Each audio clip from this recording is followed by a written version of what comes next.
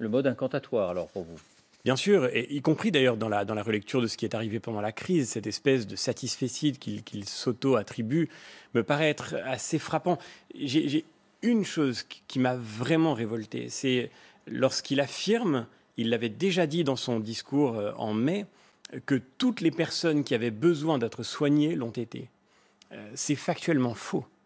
Il y a dans des dizaines d'EHPAD en France des personnes âgées qui, lorsqu'elles ont été atteintes par le coronavirus, n'ont vu personne arriver à leur chevet, des aidants, des accompagnants dans ces EHPAD qui n'ont pas pu bénéficier d'un soutien médical, que les pompiers ne sont pas venus voir, que le SAMU n'a pas euh, relayé. Et pourquoi? Parce que nous n'en avions pas les moyens. Mmh. Euh, Emmanuel Macron dit aujourd'hui qu'il faut honorer la mémoire de ceux qui sont morts de cette épidémie. C'est vrai, nous leur devons au moins la vérité, c'est-à-dire de ne pas dissimuler cette impuissance de l'État, euh, à défaut de pouvoir la rétablir dès maintenant et la réparer pour la suite.